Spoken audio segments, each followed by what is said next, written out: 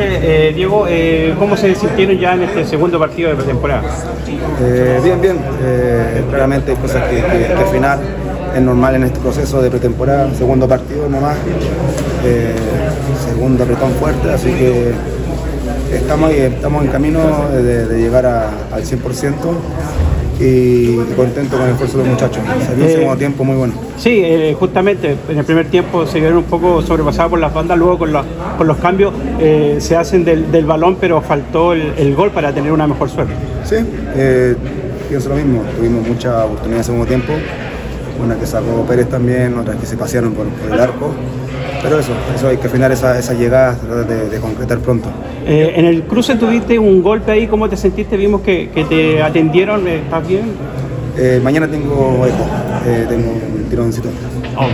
En ese sentido, Diego, ¿cómo, cómo ves lo que se avisora? Eh, ¿Van a tener unos días de descanso también? Eh, ¿Sacarse la carga del viaje de Perú para enfrentar a la U? ¿Cómo, cómo avisoran también lo que se viene? No, no tenemos descanso.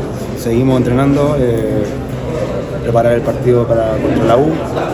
Eh, después ya viene el campeonato, así que no, no bajamos, Ah, no, no vamos a relajar ni un, ni un momento. A tu juicio, Diego, ¿cuáles son los puntos que hay que mejorar de cara al siguiente partido, eh, considerando lo que pasó hoy día la Católica? No, no sé qué, o sea, decir algo puntual, no, no, no, no sé. Creo que hay que estar más fino para definir, pero son cosas de movimiento. Igual hay eh, Johansen que es nuevo, falta todavía complementarnos más, pero se va a dar, se va a abrir el arco y ya vamos, vamos a estar con más confianza.